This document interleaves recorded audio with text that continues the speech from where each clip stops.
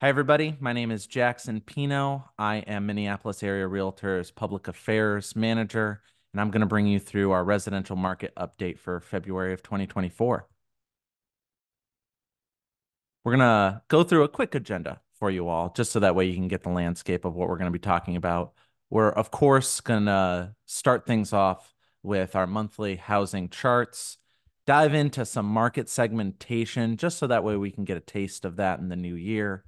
And with new new news in the uh, in the new year, we have a, a bit of talk about inflation and what the Federal Reserve is going to do. I figured we'll talk a little bit about that as well. Uh, we'll uh, then zoom back out into uh, looking at the wider housing market um, and some factors we want to keep in mind as we go through 2024. And then if we have any time left, we'll answer some questions. Sound good? Great. So, you know how we all like to start things off with some sort of motivational quote, something to put in context for all the work that we do here. And I thought no better time to bring up uh, a founding member, uh, actually, of real estate in certain ways than Booker T. Washington, uh, because it is uh, Black History Month, after all. Um, if you don't already know, Booker T. Washington was an American educator, author, orator, and between ni- uh, 1890 and 1915, Washington was seen as a primary leader in the African American community, community uh, debating with the perspectives of W.B. Du Bois on how best Black people should achieve equality. Uh, Washington was a key proponent of African American businesses and was a founding member of the National uh, Negro Business League.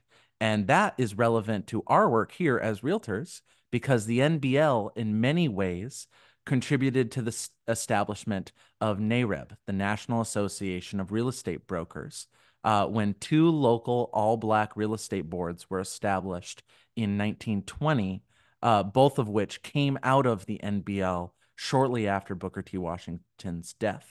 Um, and he has many quotes attributed to him, but one that surely leaves an impact here is one constructive effort in the way of progress does more to blot out discrimination than all whinings in the world uh, particularly an impactful uh, point of view that he had in history.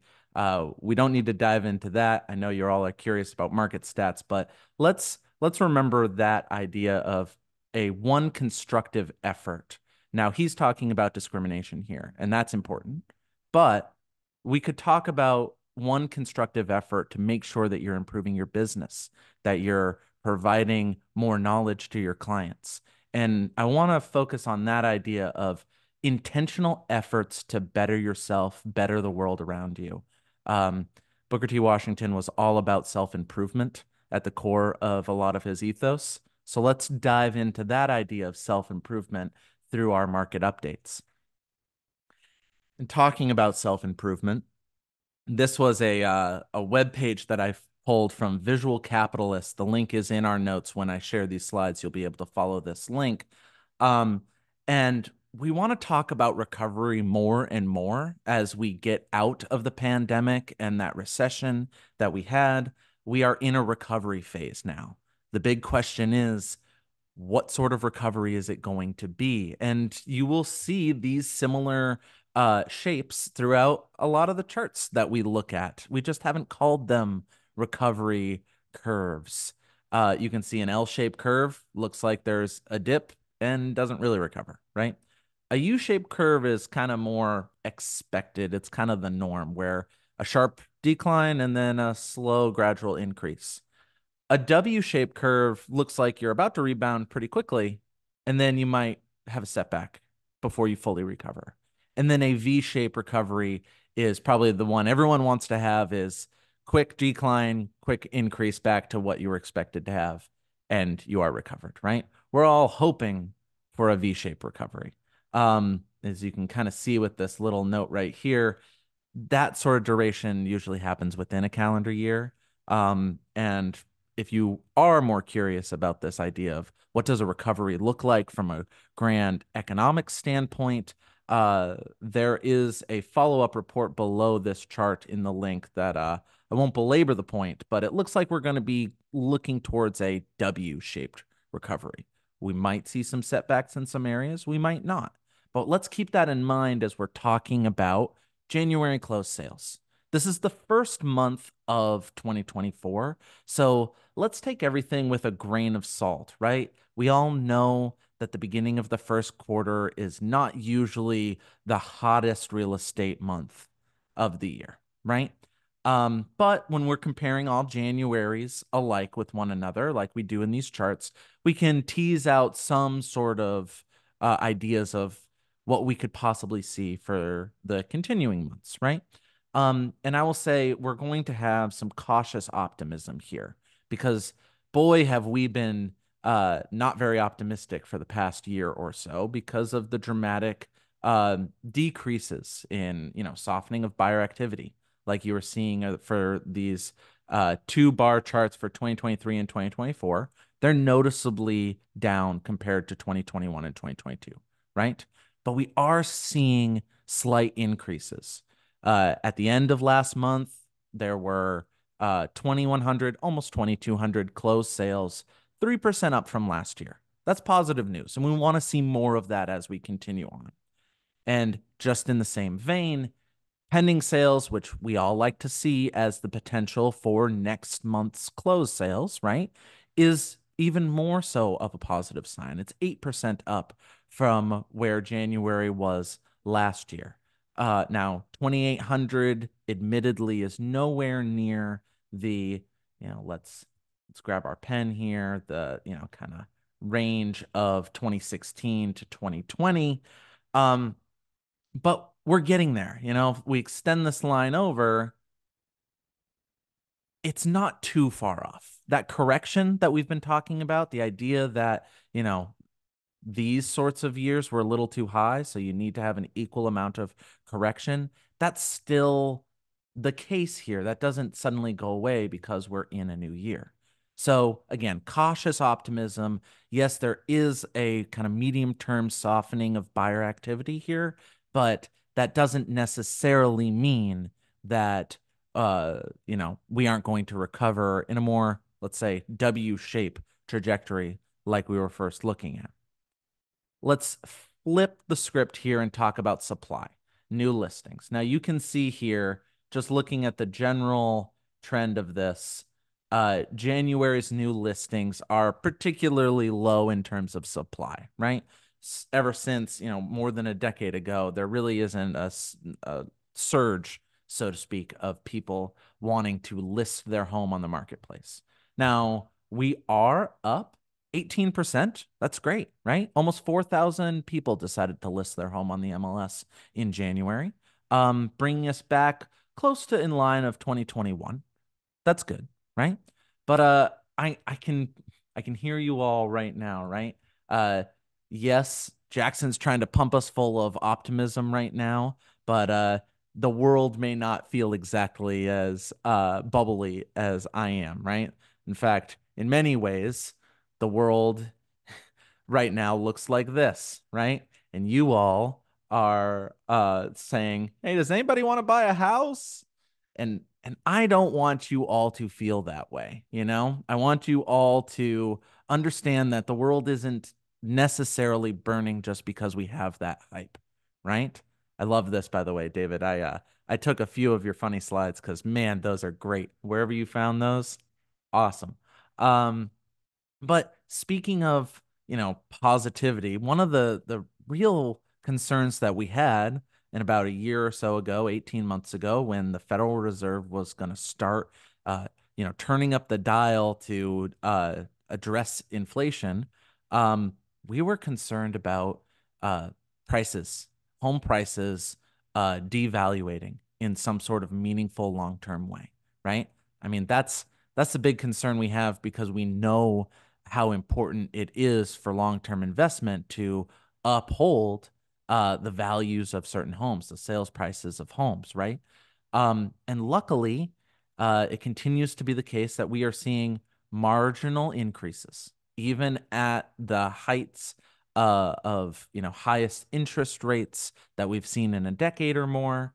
uh, we are still seeing homes sell for marginally above what they were last year at this time. Median sales price, if you can't see it very clearly, $350,000 for the Twin Cities. That's up 2.3% from last year. And yes, it's not nearly the, to bring out my cursor again, the steady six and a half percent increase that we're seeing here with my relatively straight line. It's a it's curved, you know, we're curving a little bit. The diminishing returns, so to speak, right? But we will see that correction come back in line off into the future, ideally. That is supposed to be an arrow. Um, let's move on and take a look at not just my arrow drawings, but look at this from a marginal standpoint here, right? From uh, looking at the exact change in year over year median sales price. And what we were concerned about happened twice. Right here in this little circled area, we went negative for a few months last year, but we have been relatively positive. I would say at about two and a half percent increase year over year um, for the past seven or eight months that's good. That's predictable. And ideally, we will get back to, you know, this sort of trend of 5 to 6% that we were seeing in 2014 through 2019. Uh, now let's let's talk about expectations. Let's talk about uh, expectations of home prices in uh, an ever-changing market, right? Prior to the pandemic, we were talking uh, about uh, setting a, let's say, a negotiation, so to speak, in the percent of original list price received at about 97%. 97% meaning that if someone listed their home for X, then at closing, they got 97% of whatever they ended up listing, right? And then when the pandemic hit, we got, even in January, mind you, close to 100% of original list price at the median. That's that's unheard of, right? Particularly for more negotiation friendly seasons, so to speak, if you want to even wager to try to uh, time the market in the winter like that. Um, but then we started coming back, We're coming back to this 96, 97% uh, equilibrium point that we were beforehand um, it's a changing of expectations, right? Some of you might have clients that are willing to sell or, you know, are listed on the MLS and they think they're still in this world, right? They think that they're still in the world that they can uh they can ask whatever they want and there will be 17 people trying to bid on their home even though it hasn't been that way for over a year now. They kind of look like this. Yes, I know what all the comps say but my house is special. Right? Let's set expectations appropriately. Make sure that we have the data to be able to tell them that's not a realistic expectation if you want to have a timely uh, you know, sale of your home, right? Now, let's talk about timeliness. So, median cumulative days on market what's the shelf life for homes on the MLS, so to speak, right? Prior to the pandemic, we were at about in January 45, 44 days on market. And then pandemic hit, particularly for these years 21 and 22, half that. Half the shelf life that we were normally seeing. Homes were going off the market twice as fast in January. Crazy, right? now we're starting to get back. Again, these corrections are happening again. You can kind of see the trend that we're seeing here that shows us that we are on the path to recovery. Okay. I'm I'm trying to make sure everybody feels the optimism as well as I do, you know? January inventory, eh, what did it look like at the end of each given January, year after year? And now this is something that it is, this is more than just pre-pandemic, post-pandemic, what happened during the pandemic sort of stuff. Because the reality is that it the low inventory wasn't just here. It wasn't just in 21 and 2022. I would argue it's still happening now. In fact, it's probably been happening for about 10 years. we're we're short on inventory. We all know this, right? This is something that we need to be advocating for. Uh, part of our government affairs initiatives uh, are making sure that we represent you all realtors make uh, to stress the need for more inventory uh, in the Twin Cities. Uh, so that way we have more homes to sell. These numbers go up, we have more clients, more opportunities for more people to get into homes, right? Win win for everybody. Another great way to look at this, apart from just saying, you know, we ended the month with 6,300 homes on uh, on the MLS, which is again marginally up from last year, um, is looking at month supply of inventory, which I think is more intuitive and just acknowledging what the problem is, right? Because we reference five month supply of inventory like we had here in 2012 as a balanced market. And this is what I mean by saying we are below that threshold, and we have been for years. This is more, this keeps me up at night a lot more than are we still in the midst of a recession? What's going on? Because this is a problem that has gone unsolved for 10 years. Um, yes, we are in a strong seller's market. And if that is uh, enough information for you to go off of to make a good business, more power to you. This is solid for anyone who's got sellers willing to sell. Boy, do they have the leverage, right? Um, but we're not maximizing the full potential that we could be. Um, and and we should be doing that, right? Now, let's ma- let's take a moment to just dive into market segmentation here. Before we go into that, does anybody have any questions for me? You're welcome to throw them on in the chat, either about inventory, cumulative days on market, any of the funny memes that David and I make.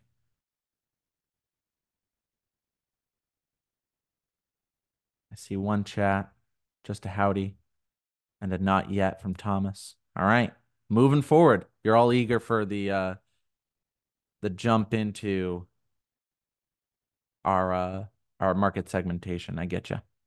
So, new construction. We capture, I would like to say, the vast majority, but not all, of new construction on the marketplace, right? Um, so this is a again, take it with a slightly bigger grain of salt than everything else we've been looking at, but it is a good indicator for us, right? Um, what is the share of new construction uh, of all sales in the Twin Cities for the month of January?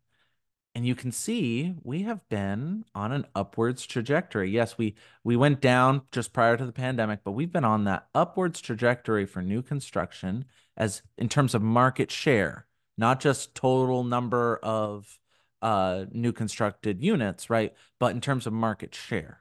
A good reason for that being is because, like one of our first slides shows, there are just fewer sales overall. So the fact that these are new, fresh homes that, you know, have that warranty of a decade and, uh, you know, uh, you know, the shiny new thing on the block, right?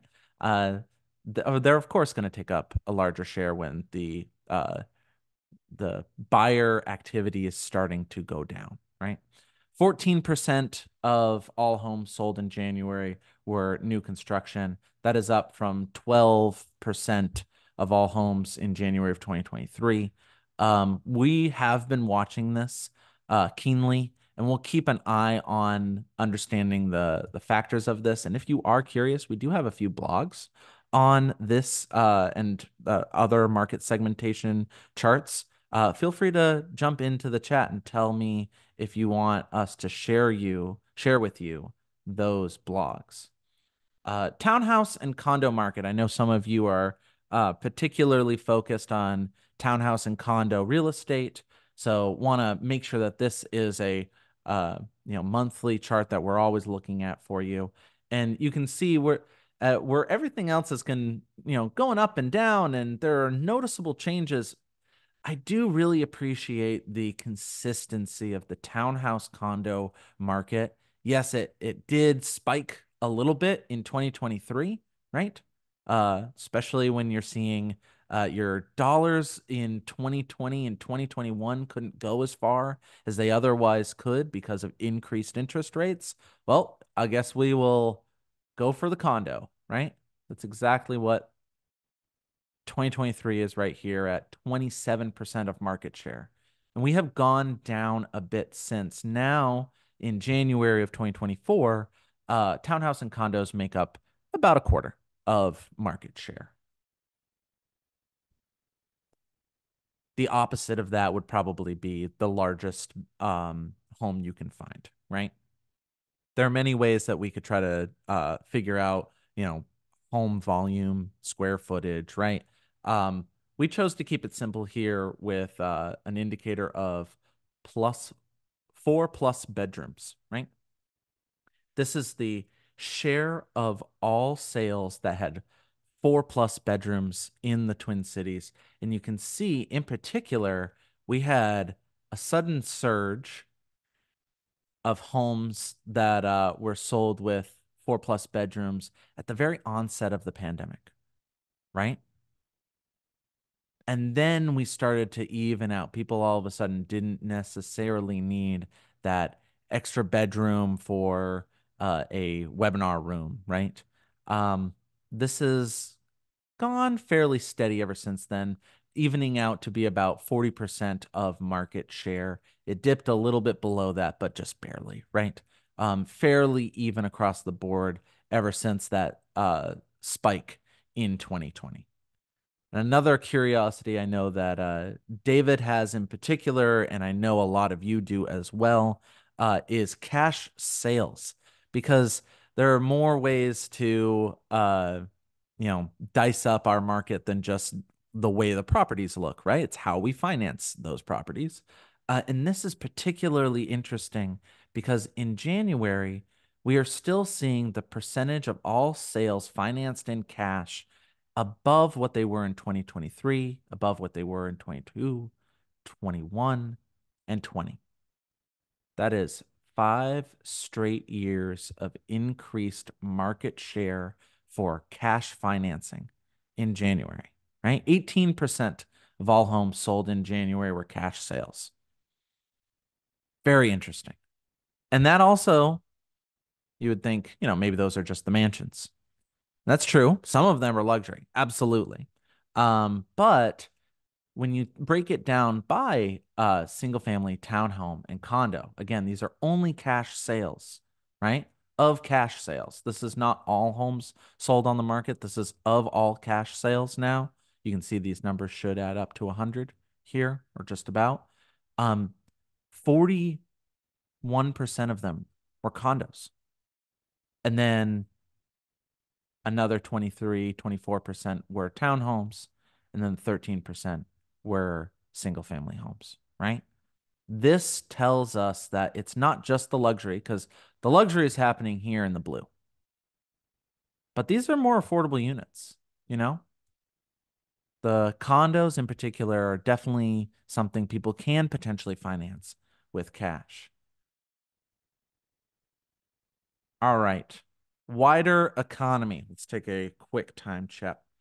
Now we are at about halfway through right now. Um, diving into the wider economy. And uh, I do want to start off with the first question that's probably on a lot of people's minds. Uh, what's the latest with inflation? You may have heard at the beginning of the year, Federal Reserve are going to have two to three uh, decreases in their interest rate. That's going to put more money into the economy. And then all of a sudden we hear, oh, uh, consumer price index is a way higher. Inflation is way higher than we expected it to be as late as last week, um, which was around 3%, I think, inflation. Um, there's a lot going on. And the ideal here, right? The Federal Reserve wants a smooth and controlled return to normal, right? It's an easing of their interest rate hikes that doesn't cause a major market change. Um, and in order to make that smooth landing uh, happen, they're working kind of like Ted Striker from the movie Airplane to try to get that to happen, right? it's not an easy thing, but we don't all see, you know, the effort that they're going through. Also, loved this movie growing up.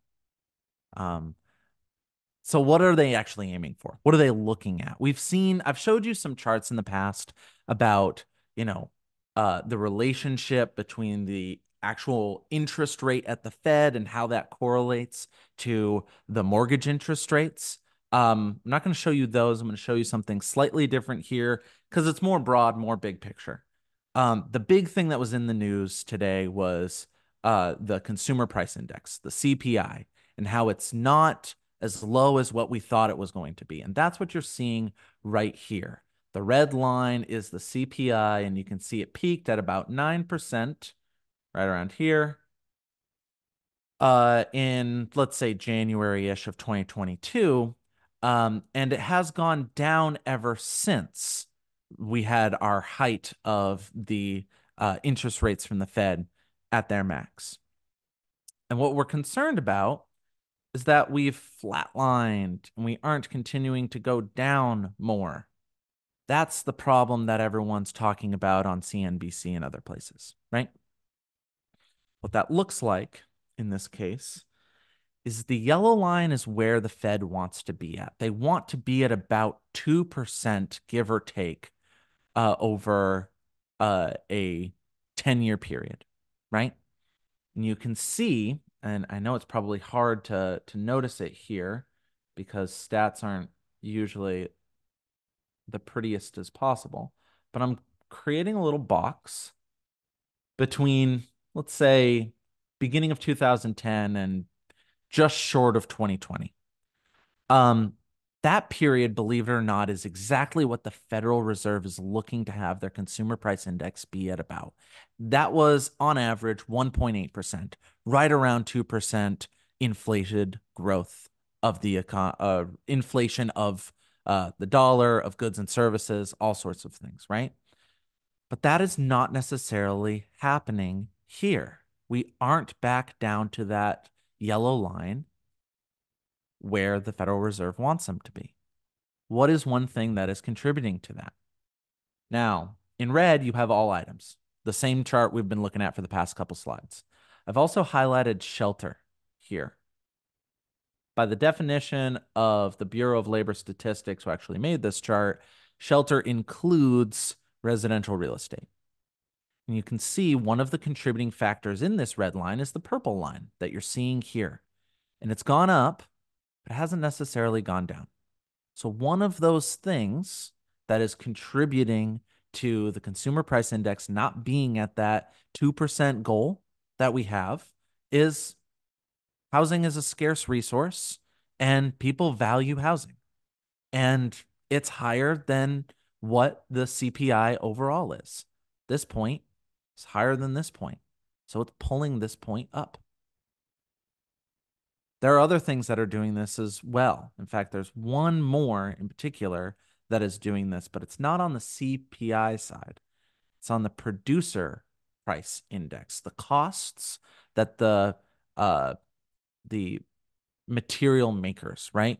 We're not talking uh, like retail producers. We're talking like the places in China or in the Midwest or in Brazil who actually produce the shirts that get sold at the retailers, right? What are they selling their products for? What are their costs? That's what the PPI is driving at. And you can see the PPI is right about at flat, but there is one thing in particular that is still holding it up. And this is something that we all care about it is the idea of services, less trade, transportation, and warehousing. And I will put that in plain English for you all. That is labor costs. Labor costs are one of those few things that, because in the pandemic, uh, cost of living suddenly went up and employers rightfully said, you know, we need to give these people a pay raise because we need to keep our businesses afloat.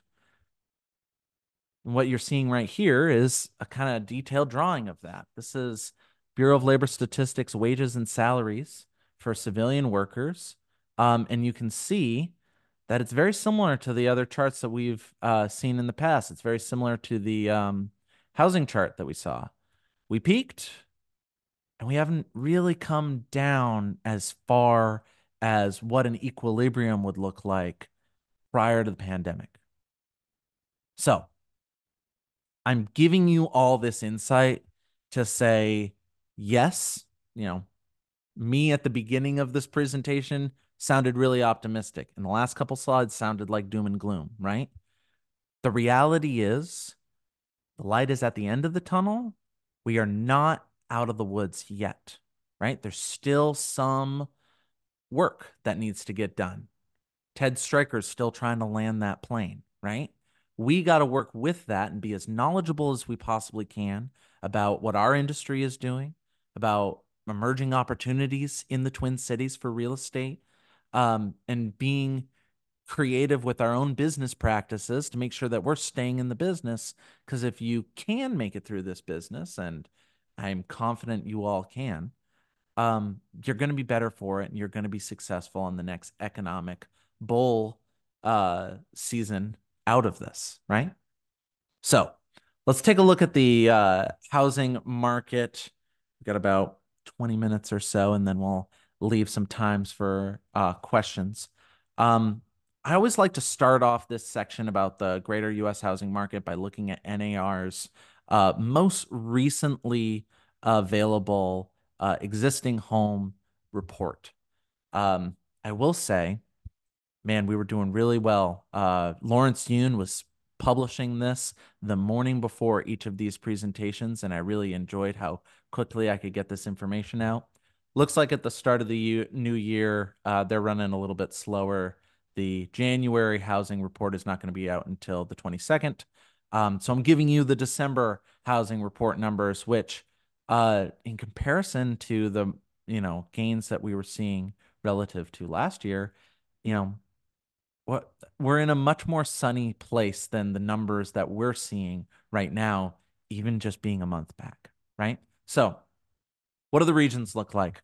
Uh, the Northeast down about 10%, Midwest, us down about 11%. The South and the West are doing marginally better in terms of sales. These are closed pre-existing home sales, by the way. Uh, sales down for them only four and a half and two and a half percent respectively. Overall, the nation's uh, pre-existing residential real estate in terms of units sold is down only six percent. Um, in terms of housing report, and this is, mind you, December housing report. Um, Housing prices uh, are up in the Northeast by 9.5%, up in the Midwest by 6%, uh, up in uh, the South by, let's say, 4%, and 5% in the West at an average nationwide of, let's say, 4.5%. Um, our home prices are beating the average here uh, nationwide, uh, which is good, especially when it is below that 6% growth that we are expected to have here in the Twin Cities overall right? Main takeaway from Chief Economist Lawrence Yun from this report is that December's sales look to be the bottom before inevitably turning higher in the new year. That means we're getting back on track, so saith Lawrence. And I'm excited to see that future. But one thing that is going to have a big impact on that, as we've mentioned a few times already, is the average 30 year mortgage rate here uh, shown to you in the frame of the past 12 months by our good friends over at uh, St. Louis Federal Reserve. Uh, they're saying that the average as of this week was around 6.6% nationwide. And yes, that's certainly not where we were, you know, uh, months ago when we were at this, what, really low point of uh, oh, that was even 6.2 back in February uh, of last year. Uh, definitely not in the lowest points that we saw at the beginning of the pandemic. Um, but let's keep in mind the relative scale. This is looking over the past 20 years now. Um, yeah, we were at a decades long high here in this far right red box. But we are going down from that, right? We're about where we were 2008, middle of the recession, and we are slowly going to be going down. Um, but I get that this is this is frustrating for people being at such a high uh, interest on their mortgage. And luckily, David made uh, a great uh, meme that, uh, given the right client, you might be willing to uh, share this with them. Uh, the good old, I'm not paying 7% interest on a mortgage. Well, rent's 100%, right? Let's start talking about the uh, long term benefits of home ownership, right? Where even in a world where you're paying 7% interest on your mortgage, you're investing in long term intergenerational wealth. And that is something that really best time to do that when? Yesterday, probably a decade ago. But second best time to do it's today, right? Let's take a look at those monthly payments while we're at it, right? Um, historically low rates and rising incomes had partially offset price gains, right? It had done that in the past because if you look, there's a bit of a curve here, right? And those of you who have seen me talk about this chart before, you probably know where I'm going with this. That curve was those price gains because if you take a straight line, you kind of whoop, connect these two points. That's a linear trajectory. That is something that realistically, with the growth of our economy, linear trajectories are something that we anticipate um, with inflation, right? Um, and this whole area in between, you know, 2020, 2021, when people, the, and by people, I mean the median uh, family was paying, let's say, 16, 1700 dollars a month on the median priced home here in the Twin Cities, they were making the such they were having such a savings. And then all of a sudden we were correcting back up to this red line, this linear trajectory. And now we are coming back down from that. Why? Is it because of prices going down a little bit? No, home prices are the same. Interest rates. Interest rates are a huge driver of this. And because interest rates are coming down a little bit, the median family buying a median fam- a median priced home in the Twin Cities is paying a little bit less in their monthly principal, interest, taxes, and insurance. So let's put that monthly payment in context, right? Because I just showed you a chart that was going up to the moon and then just went down a little bit, and I sound happy about it, right? That's because, in the context of cost of living, right? Now, those numbers aren't just dollar signs, it is a share of that median family's income.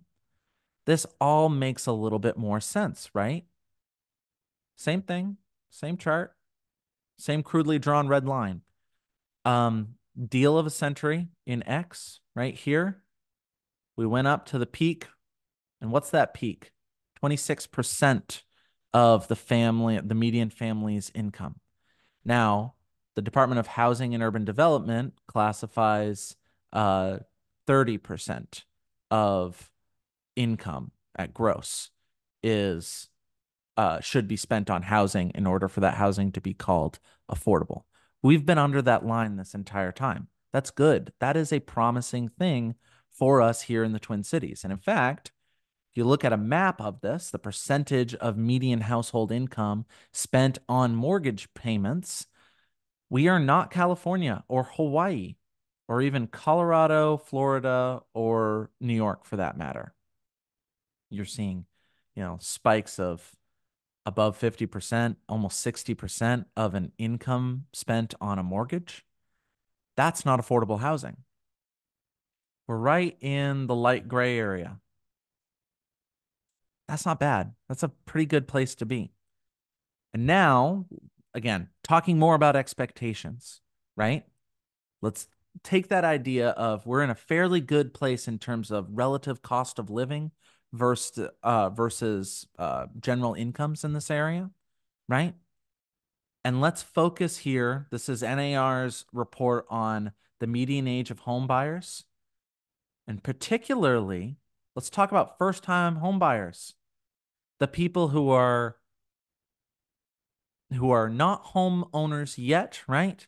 But they know how important it is for home ownership to be part of their long term financial success because they've heard how important it is to have that intergenerational wealth, right? These people get it. The the repeat home buyers at median age is of 58, 59, right?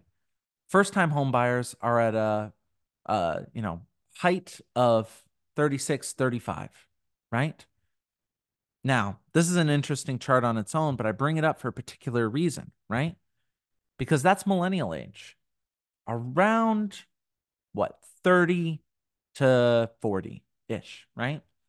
And when millennials were polled by Apartment List, um, the number one issue that they had about the affordability of of owning a home, um, I cannot afford to buy a home. You know, why do you expect always rent? I cannot afford to buy a home. Now that's that's always been the highest thing 2018 69% 2022 it went up to 74% all these other examples the flexibility that renting provides that went down in share of responses i prefer to avoid home maintenance and added costs that went down i think buying a home is financially risky that went down but the idea that i can't afford to buy a home is the only thing that's gone up in that period of time right so this has led millennials to just bet on the idea of the collapse. Come on, collapse. I know you've all seen this in social media, right? Now, this is my challenge to you all on uh, this webinar. Most agents know what's happening, and by attending these sorts of things, you do, right? Good agents understand what's happening, and there's a difference, right? There's a difference between just being able to parrot back the things that we're talking about and actually having an intrinsic understanding. And it's an even more important thing. Great agents can explain what's happening. And I challenge you all to be the great agents that I know you can be and explain these types of benefits to those potential first time home buyers that we all have connections with, right? Explain how uh, the total home sales, right, are expected to, yeah, they went down, but they're expected to bottom out and come back out. There will be more buyer activity. There will be more opportunities to buy. Existing home sales up 13%, so says NAR. Forecasted with NAR and HUD.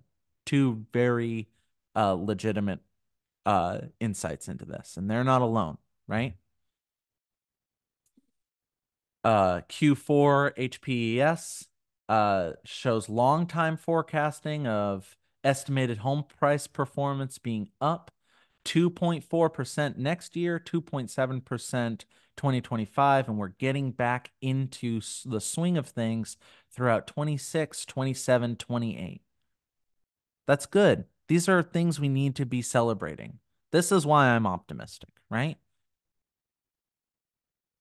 Home price forecast for 2023 and 2024.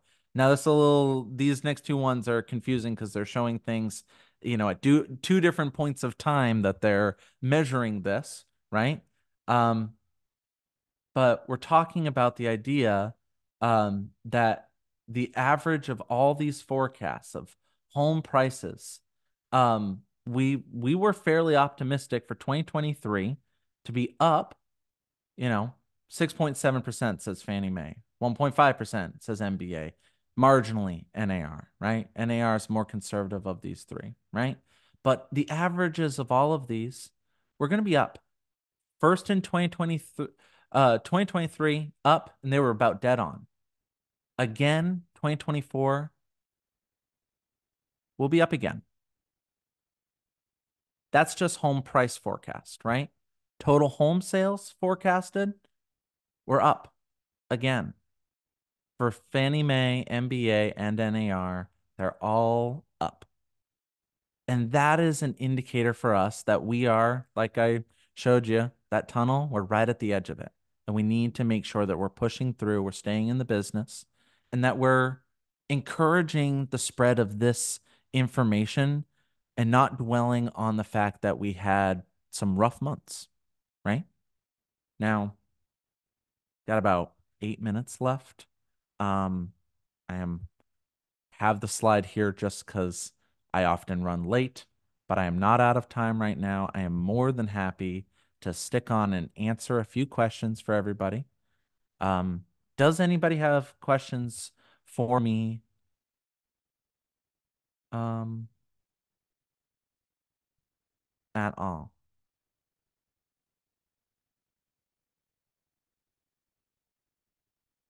See a note from Pete. Um, this was a few minutes good. Oh, you're all good. Okay, thanks, Pete.